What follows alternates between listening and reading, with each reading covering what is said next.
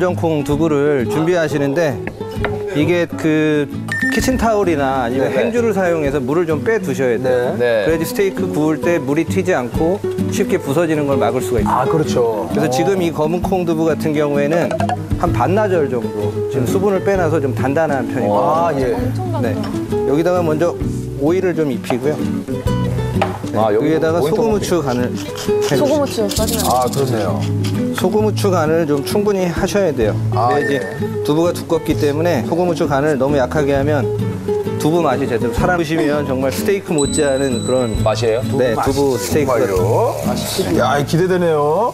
같이 곁들여서 드시는 재료는요. 네. 뭐 요즘 마트에 버섯 여러 가지 많이 나오잖아요. 여러 가지 버섯을 볶아서 같이 그 가니쉬로 얹을 건데요.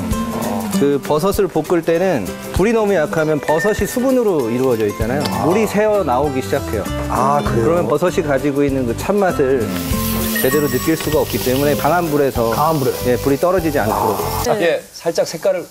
예. 아, 지금 좋잖아. 햄 같아요, 햄. 와. 야, 저 색깔이 나온 게 진짜 희한하네요. 아니 저는 모양을 저렇게 만든 게더 신기해요. 그게. 어, 뭘 넣으셨다.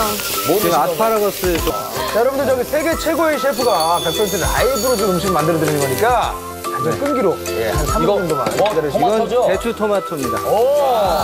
야, 근데 마늘을 마지막에 넣으시는 거예요? 원래는 처음에 넣지 않나? 마늘이 지금 다진 상태면요. 네. 너무 오래 익히면 바닥에 눌러붙어서 탈수 있기 때문에 마지막 끝에 향을 더 올려준다고 생각하시면 돼요. 이게 하면 배우잖아요, 이렇게. 아, 메이지.